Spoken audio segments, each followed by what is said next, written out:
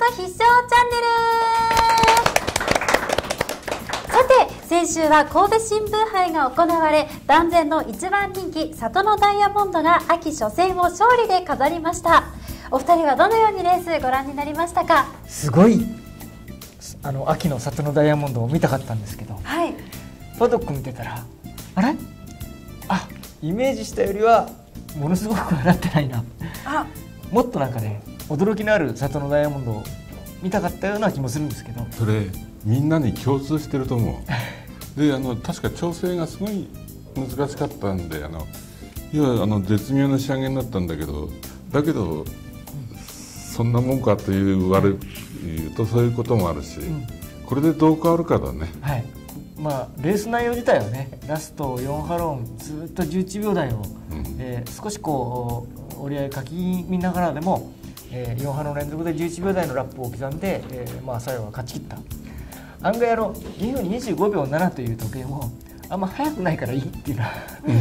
連勝戦とすればはい。だから帰っていいのかもしれないけどね、だけど菊花賞っていうとなんかイメージあるでしょ？あのわあ気になって強くなったなというそうですね。だからそれが半々という感じだよね、はい。そして中山のオールカマーではゴールドアクターが快勝しました。こちらいかがでしたか？あー時計的にもね 1000m が59秒9のミドル。2000m 使うの1分59秒9ですから、えーこの流れを58キロを背負って横綱相撲っていうかああ本当力通りだうん。な中山はうまいな。去年と同じか。うん。もう少しう、うん上だっていけるかもしれない、はい。でそのイメージがあのお父さんのスクリーンヒーローがあのこう良くなった時にうわーってパンパンって勝ったんだけどその後調子もあったけどあんまり良くなかったのね。だからそのイメージダブっちゃうんだけどいやゴールドアクターはそんなことないな。今年も大丈夫だなという、はいね、えうん、そういう印象です、うん。きっとローテーションもジャパンカップ有馬記念というのは、えーいろんなこう体質とか考えればベストローテーションで、へえーおえ父さん以上のね、えありえるね、頑張りが期待できるかもしれないですね。わかりました。さて今週の番組は秋の G1 第1戦スプリンターズステークスを中心にお届けします。今年のメンバーはいかがでしょうか？そう目玉のビッグアーサーがいてくれるはい。中身は濃いと思います。はい、ビッグアサー、えー5歳ですけどはい。1年ブランクがあります。なので、えー、丸々うそのおキャリア1年分若いというか春の高松宮記念勝って、えー前哨戦を勝って、えーいいストステップレースで、えー時代のやっぱりスプリント界でね、えー断然人気でしょうけどそういうやっぱりいい走らとなりうる存在ではあると思います。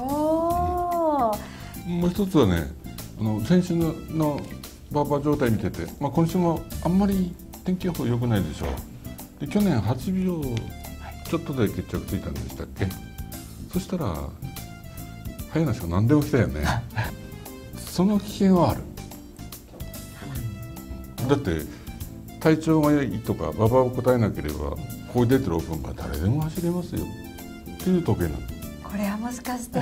えいい何ねかが起きるかもしれないですね、ねあのビッグアサー、もう本当時計が早ければ、うん。もうあのもっといい。ねえー高松宮記念で6秒なんで誰もついてこれないっていうのはものすごいそうですねわかりやすいんですけどね。わかりました。そしてフランスでは日本ダービー馬マカヒキが出走する凱旋門賞が行われます。日本で初めて馬券発売がされる海外のレースこちら注目ですね。結構その凱旋門賞のあの、はい。参考うんレースね、皆さん競馬好きな方は、えーいっぱいご覧になったのでね、えーあのある意味あのスプリンターズステークスよりも凱旋門賞通の人がいっぱいいそうですあらそうなんですねね。えー誰が見たってポストポンド。ね強そうですよね強そうですね。えー、マガヒも多分頑張りそうな気がします。はいマカヒキがあの客室じゃなくてあのシャンティのコースは大丈夫だっていうのが分かったのは大きいですね。うん友光先生が言ってるように俺なんか思ったよりずっと軽い馬場じゃないか。だからロンシャンよりは日本馬には絶対合ってると思います。ただコースの形態は別だけどね、こちらも楽しみですね、はい。それでは今週もよろしくお願いします。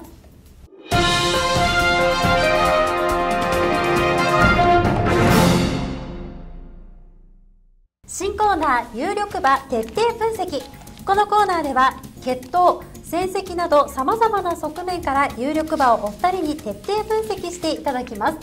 今回徹底分析していただくのは春のスプリント王ビッグアーサーです。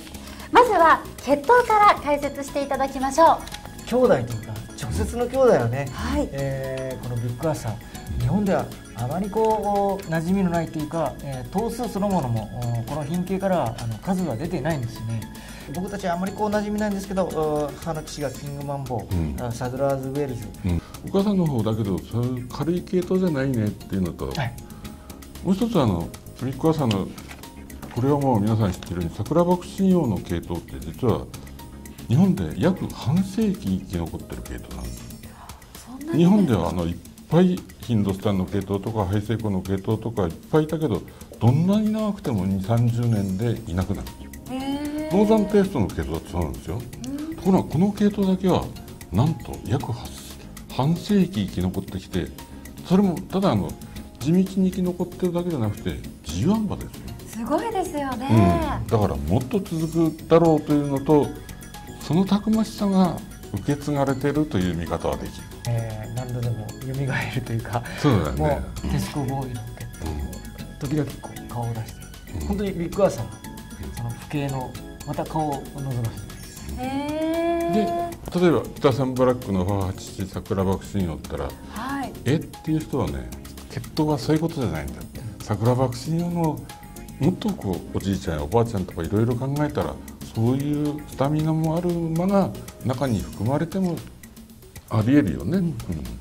私たちよく桜爆心用だからとか平気で言っちゃうけどそれは総じてならそうだけど中には違う人がいっぱいいるんですよ、そうですようね、ん、それが血統ということなんですへえわかりました。だからビッグアーさんが強い勝ち方をするといいね。あね。ちょうど本当お父さんとの、うん。えー、桜爆心を早いからこうその、えー、早熟っていうんじゃなくて、うん。はい。えーどんどんその引退間近が一番強かった。えーそれそれそれ。珍しい同じようなパターンで。やっぱりおえー父さんの桜爆心と同じように、えー、ビッグアーサー。うん、そう。